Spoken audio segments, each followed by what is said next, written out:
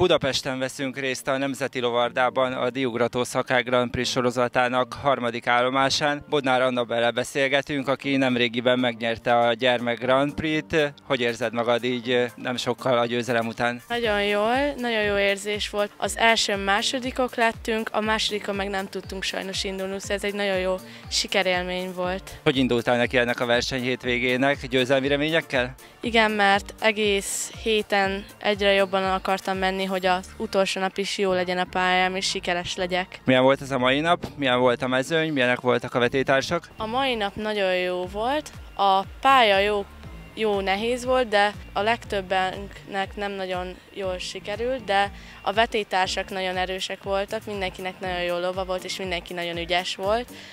És a pálya eléggé strapa volt, és kell, oda kellett figyelni, hogy hogyan mész. Csak néhányan jutottatok be az összevetésbe, ha jól láttam, szóval nehéz feladat elé állítottak benneteket. Igen, mert csak hárman sikerült, mert eléggé nehéz volt a pálya is, hogyha egy kicsit elrontottad, akkor már lehetütött egyet vagy kettőt a lavad, és a nagy víz is utolsó ugrásként egy kicsit megtévesztő volt pár embernek. Ha jól tudom, akkor te félig meddig hazai pályán versenyeztél, mivel itt vagy a Nemzeti Lovardában, itt készülsz fel, ez mennyiben segítette a sikeredet, mit gondolsz? Annyival segítette, hogy a lovaim már ismerik a pályát, és tudják, hogy mi szokott lenni, mert sokat versenyzünk itthon. És ha jól tudom, akkor édesanyád is diugrató versenyző, esetleg innen fakad a te szerelmed is a lovasporthoz? Nagyjából igen, de legfőképpen, mert a szüleim régebben abba hagyták, és egyszer elmentünk nyaralni, és akkor volt egy közelben egy istáló,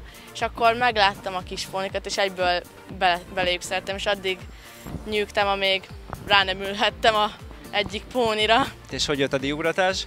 A szüleim is régebben diugrattak, és ahogy néztem, hogy a profik ugratnak, nekem nagyon megtetszett, és sokkal élvezetesebb, mint a díjlovaglás, vagy csak a simán hobbiból lovaglás.